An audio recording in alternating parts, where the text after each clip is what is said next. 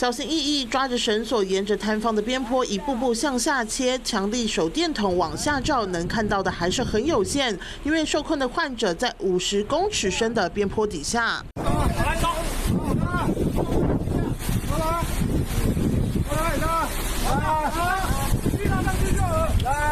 把患者固定好才能往上搬运。救护车一连派了四台，通通集中在台九线苏花公路。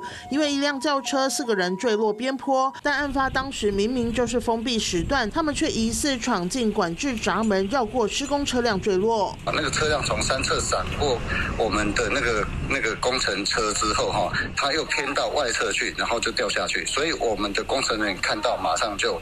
就通知那个警校单位这样子。好在车上的四名女子脱困的时候都意识清楚，送医急救没有大碍。虽然乘客说是门没有关，但不排除是趁保全上洗手间的时候抓到空档，擅自打开管制门硬闯。警方要进一步厘清。华视新闻张正惠、黄佩华、黄昭胜宜兰报道。嗨，大家好，我是颖彤。想要来抢先掌握最及时的新闻资讯吗？赶快订阅、按赞、开启小铃铛，锁定华视新闻的 YouTube 频道。